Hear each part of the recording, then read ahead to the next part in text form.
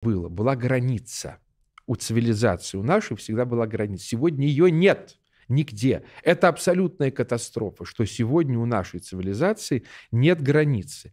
Поэтому у нас э, разломанная экосистема, поэтому у нас кошмарный вирус